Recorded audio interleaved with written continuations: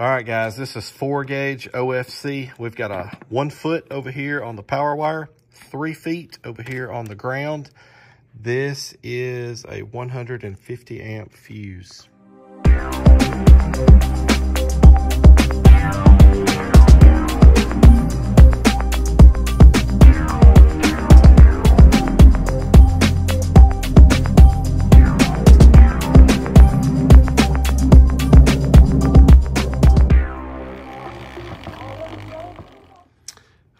Guys, welcome back. I thought I would do a video this uh, this week um, about Welsh Audio. Let's talk about a couple of things that you guys might not know about or might would be interested to know about a couple of changes. But um, first, let's talk WA2K. Uh, I have had one come back. Uh, now, the truth is, that's actually really good that I haven't dealt with this more than I have with as many of them as I've sold. And I'm not acting like I've sold hundreds of these things, but in my opinion, I've sold quite a few of these things right here in the first year. Um, it's been a lot of fun. But I sent one out to Hawaii, uh, how long ago? A month ago? I can't remember exactly, a few weeks ago, something like that. Thought it was really cool that somebody in Hawaii bought one. But um, that guy had the amp for about one day and he turned in for a return through eBay. So that amp came back to me. He got a full refund. I tested it when it got home. I was going to be really interested to see. This is not the amp, by the way. I'm going to show you something else with this one. Uh, but to see if it worked, I figured it was probably okay. He just wasn't doing something right. And sure enough, I hooked it up on the test bench and it was messed up.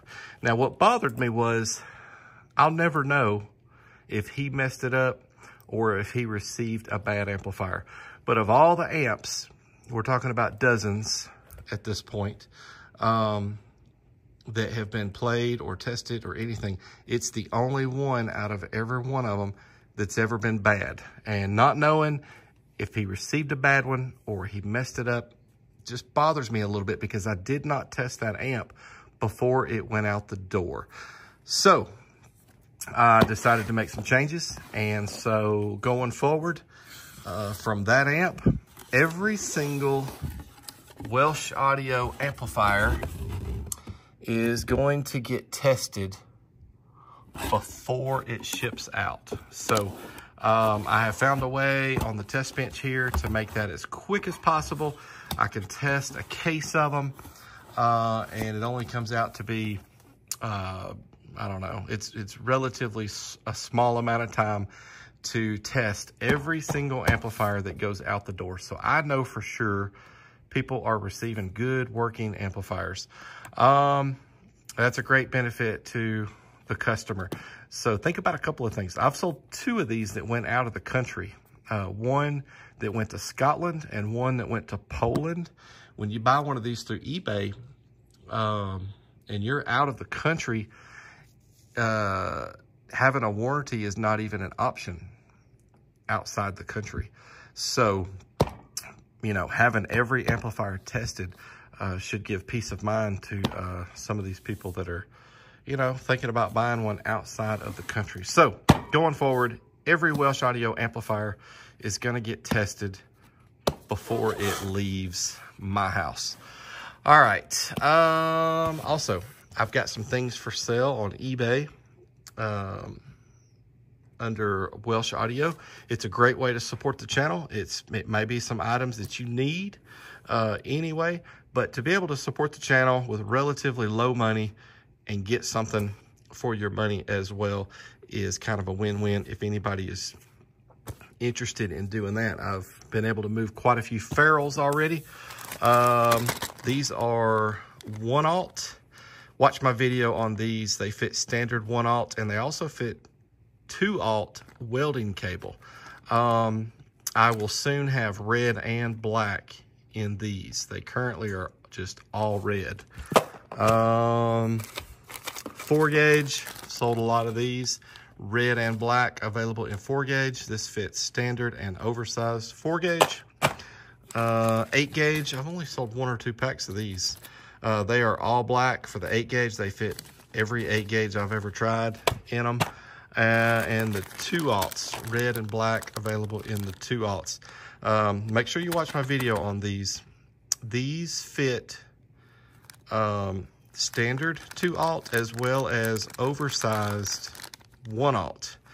But you're probably going to need to crimp the, the barrel here to get it into your amplifier. So little bit tricky on these. Um, also, guys, I meet up with a lot of people. Oh, let's let's hold off on that. Let's get to the lugs. I sell um, copper lugs. They are all copper. Four gauge, they fit standard and oversized four gauge, you know, like sky high and, and all the bigger stuff. And same with zeros. Uh, these are nice lugs as well, all copper. They fit standard and oversized um, uh, uh, uh, one aught. They'll also fit that two aught welding cable. All right, also guys, I meet with a lot of people. I end up seeing a lot of systems. It's kind of crazy. I feel like I could do a, uh, a video on some of these systems or take pictures. Oh man. Um, but I see two common themes with people's systems, and there's a lot of issues. But number one is how they have their amplifier grounded. So this is a four gauge. I've already crimped one of these lugs on there uh, with a hydraulic crimper and put a heat shrink on there. Um, have provided a uh, uh, bolt and nylon locking nut and washer. And so somebody can easily um, have a really good ground to their amplifier. Uh, it's one of the things I see people get wrong all the time. It's crazy. Somebody that's just got little wire, it's barely grounded off on anything. It's got strands hanging out. It's it's kind of crazy. Uh, anyhow, saw a guy one time that had his amplifier grounded, and this was an amp that put out about a thousand watts had it grounded to the screw on the six by nine that was in the back. That was how his amplifier was grounded.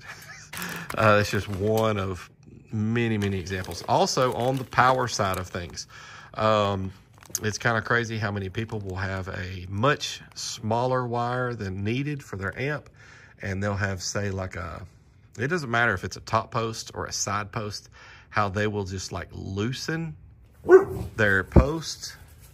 There goes my dogs. Sorry about that. Um, just loosen that up a little bit, jam a few wires in there and tighten it back down. Really crazy. So I've got a couple of solutions here uh, because I get it. Uh, it's, it's not easy to have a lug that's properly crimped or I don't know. So somebody that doesn't have the right tools or the right things to do some of this in a nice way um, can be a little bit of a problem. But also power wire here, already got a crimped lug, heat shrink, uh, wire ferrule, and a um, fuse holder ready to go. Now you still need to run the wire from the fuse holder all the way back to the amp. On the ground side, you're good to go. From the amp, drill a hole, um, you got you an excellent ground, much better than what I normally see. So it's not a it's not a perfect situation with a full, you know, amp wiring kit or anything like that, but it is a quick, easy way for somebody to uh, get started with a nicely wired system um, without having to go through a whole lot of trouble. So these, of course, are a little bit more expensive, but some of these things range from, what do these range here from? $8 to, I don't know, 15 or something like that. But anyhow, guys, uh, I'll put a link in the description for the Welsh Audio store. I'll put a link in the description for the WA2K, which will also be in the store. But I thought y'all might be interested. Let me know some feedback. I'd love to hear some feedback from you guys about some of the things I discussed here, the way people got their stuff wired, or any of these components. And then also the WA2K and the fact that they are all gonna go out the door now being tested. All right, guys, I thought this would make a great Wednesday upload. Um, got a good Sunday video going for you. Please consider subscribing. Uh, if you haven't already, we're very active on the channel. We're pumping out one to two videos a week. Um, and thanks to my current subscribers and all the um, comments and support that you guys constantly give week after week. I thank y'all so much. All right, guys, we will see y'all on Sunday. Thanks for watching.